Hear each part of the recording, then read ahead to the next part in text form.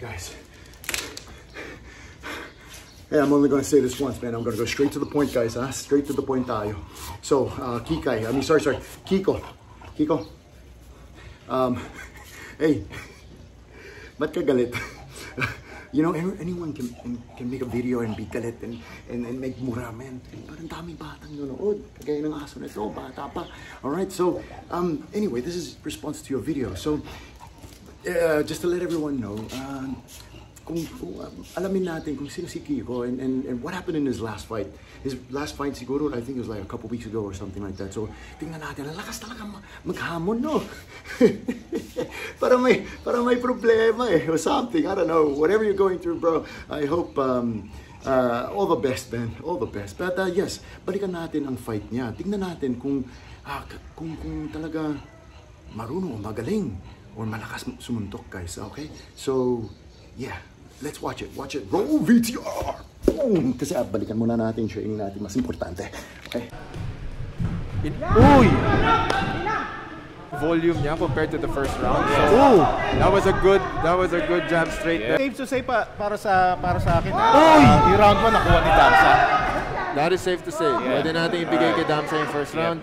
Meron pang 1 minutes. Sa bagay. Yeah, para to recover to si Kiko and tignan natin. Or malay mo, nag-reserve siya ng energy. Sa round 3, mag-all out siya. We'll see. Di ba? Mar- marami siyang barrage na ginagawa. So, pag sinabi mong barrage, more than two punches yon. So yung combinations na ginagawa niya, nadidid imbis na sabayan mo, pigilan mo yung momentum na yon. Ay, So ganon. ang gagawin mo, para mapigil yung momentum na yon, magki-clinch. Sinisira mo Uy, nakakonect si Kiko doon. Nakakonect ng kaliwa si Kiko doon. Alright, we're close. No, Tandaan po natin sa ating mga manonood at makikinig, pagka tabla, mag-e-extend po Yes, tayo. another Sa round. round pa. Wala akong sizing up na nakita. Round 1 eh. Usually start Okay. ng fight. Sizing up eh. Okay, that was a good jab and Okay. overhand right by Damsa. So maganda yung approach niya pagdating sa gitna. Target ni Kiko ha, yung body shot. Oy, kumonect siya. Good defense there by Kiko pero Oh, the punch was blocked. Mm. Teran yan. Sobrang ganda ng laban talaga. Ah, nagpapahinga Oh, sila, okay. ganon. okay, a little bit, a little na. bit. That was a slip. A little bit of taunting coming from whoever. Alright, it's 2 minutes. That was a good Oh. jab by Damsa. Wow. What a connection by Damsa. Coach, pero napapansin ko bakit parang laging magtataob si ano. Ah, okay. So, sa boxing, importante rin talaga Oo legs. naman, Yes, of course, importante yung legs. So, ano yan, ah, coordination mo, hangin, fitness mo. Kasi third and final round, Oy, nice.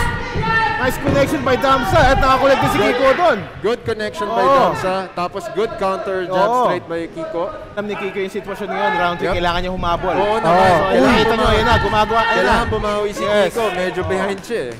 Ado natin dito. Pero sa nakikita natin Ano, dito, good jab straight by Jab. Kiko. Medyo nag-rally si Kiko sa Oo. round na ito ah.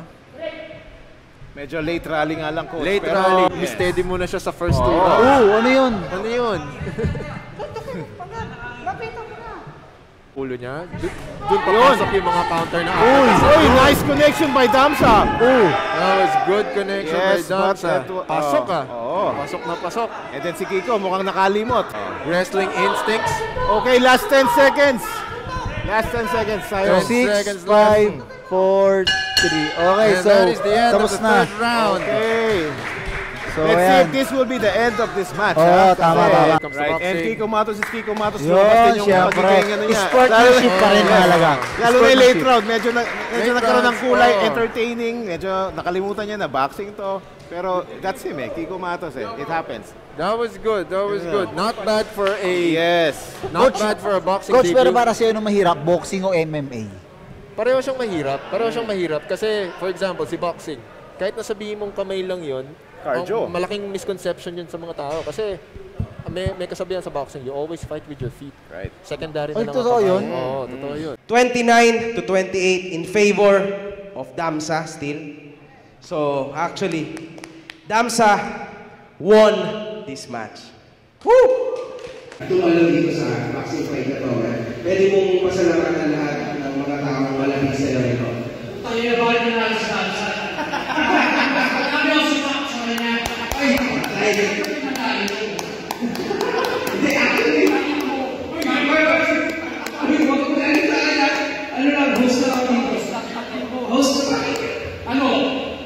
ka ba? Hindi ako makapagsisi dito sa ba? Hindi ako pwede ka ako man, Gin ka lang. Gin ka lang, gin ka lang. Marami lang sa sulok pero mas marami sa bagsak. At hindi ako nag-judge dito. Yung meron ka mga judges. So, Gin ka lang kasi hindi ako nakapapasok dito. Okay? Yun lang.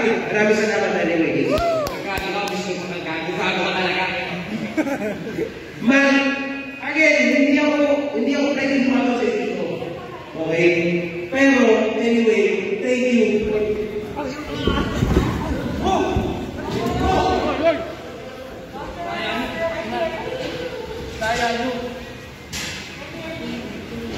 Gusto mo na nga yun dyan?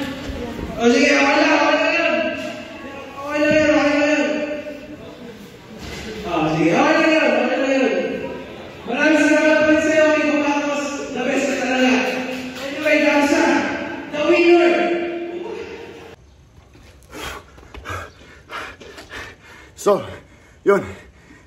You guys watched it. Kumusta yun? In the famous words of eruption. Ano yun? sorry, sorry, sorry, sorry po. Uh, just doing a video for uh, Kikai. Uh, sorry, Kiko. Um, um, uh, I, I'm not making this video to judge you or trash talk you, bro.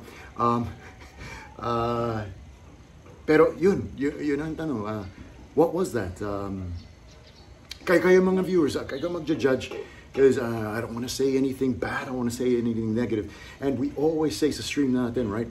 Uh, we want to focus on the positive. So anong positive mensahe na makukuha natin dito sa sa fight or sa tinatawag na suntukan ni ni Kiko, okay? Uh, be happy ha, Kiko. I called you by your name ha, Kiko ha, Kiko. Kiko, no Kikai, not Nico. Okay, uh, okay. Um, hey, but but hey, first props to um, uh, Damsa and also Makagago, man. You guys are doing doing some good here. You know what I mean? Uh, but okay, anong positive na mensahe na makukuha natin dito sa fight niya? Um, think. What are the some good points that he did? Ah. Hey, he got himself in the ring. Good job, Kiko. You got yourself in the ring, man. You know, it takes courage. It takes it, it takes uh, you know, might. And uh what else?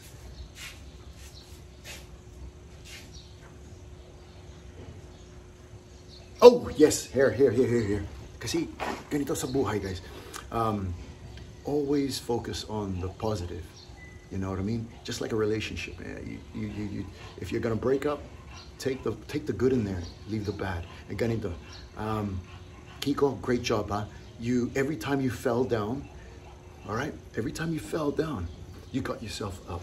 Yeah, maganda yun, Brad. Maganda yun, bro. Every time you fall, you don't give up. You puso, Brad. Get up. Always get yourself up. And I always share that to stream, bro. So, ganda, ganda, ganda, ganda yung ginawa mo, ha? Ganda yung ginawa mo dyan, ha? Um, ano?